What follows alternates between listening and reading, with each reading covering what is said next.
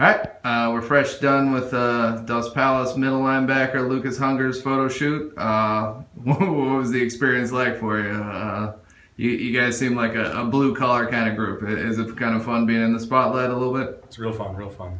It's different. Yeah. Um, this is going to be your uh, third head coach on campus during your, your four years there. Um, what's it been like kind of having all the uh, the turnover uh, constantly during your four year career?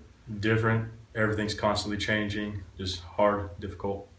Sounds like Coach Calvert's looking to, to bring back a lot of the old school Dos Palos things, and, and it seems like the uh, the team's kind of excited about it. Um, what are some of the differences, and what can we expect from the team this year? We're a lot more disciplined, and we're smash mouth power football.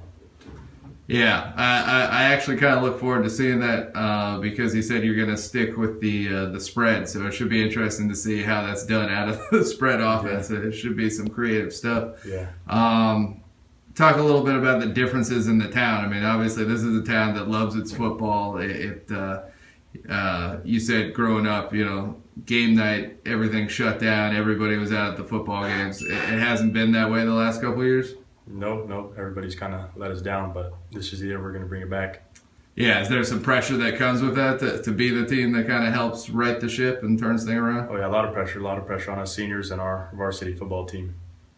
Um, what what about this group do you like? What makes you think uh, this is the year that uh, Dos Palos gets back to the uh, you know battling for conference titles and making playoff runs? Everybody this year works a lot harder, and we're just a lot more disciplined and ready to go. All right. Thank you very much for your time.